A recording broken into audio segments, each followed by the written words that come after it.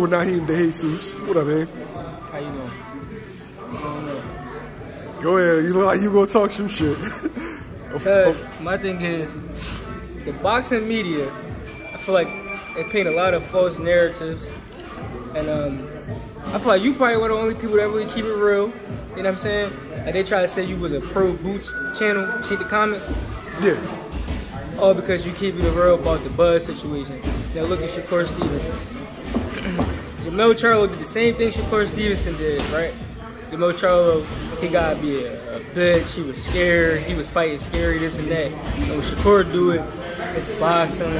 It's a, a boxing master class, and y'all don't keep the same energy with everybody. You know what I'm saying? And uh, y'all say y'all say Tank scared of him and he'll beat Tank easy. And from what I seen last night, I don't believe that shit. I don't believe it. I think Tank can get him out of there. I'm so much more confident now. I told you last time you interviewed me, I said it's going to answer a lot of questions about Shakur Stevens.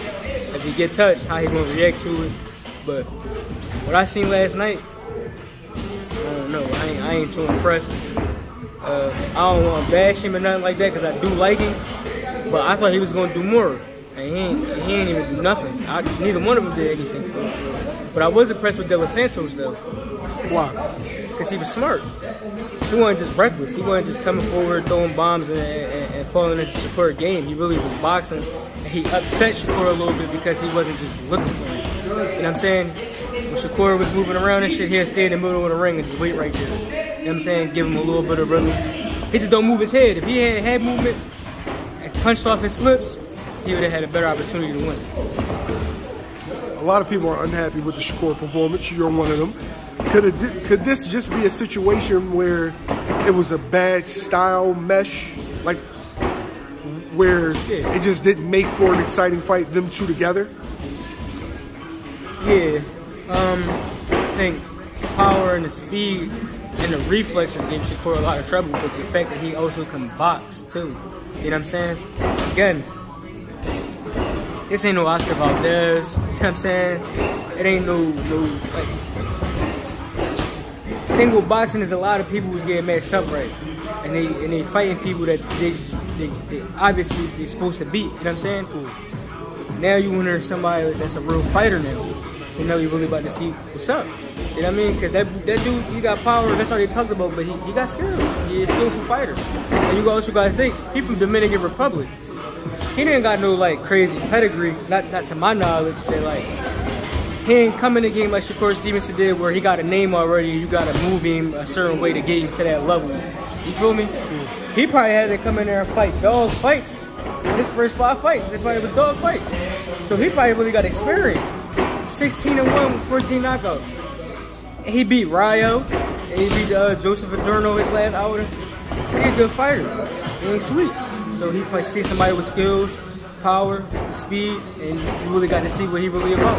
Why do you think Tank knocked Shakur out based off of that performance? reflexes. I mean, that right there was like if he was supposed to get ready for a tank fight, that would that would that have been a good warm up fight. For you know what I'm saying? But um, Tank got more skills than that dude, and I think he's more seasoned and he's more smarter. And I think that uh, a key thing is the head movement. Shakur never fought nobody with head movement. And I think like a tank bring that to the game. It's like a lost art in the, in the, in the, sport of boxing because then nobody really move their head no. You know what I'm saying? I just think uh, from what I seen last night, a lot of people say that uh, since Tank will throw a lot of punches, that uh, his inactivity is uh, making him lose because he gonna just give up rounds. But you seen when somebody got power, Shakur Stevenson don't even let his hands go. So, so that right there answered a lot of questions for me too because when either one of them is gonna be getting busy, right? But who got that one punch knockout?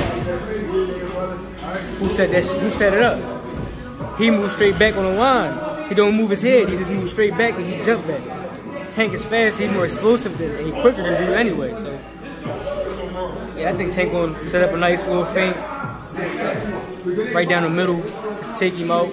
Set it up with some body shots overhead at the top to take him out. He got a lot of ways to take him out.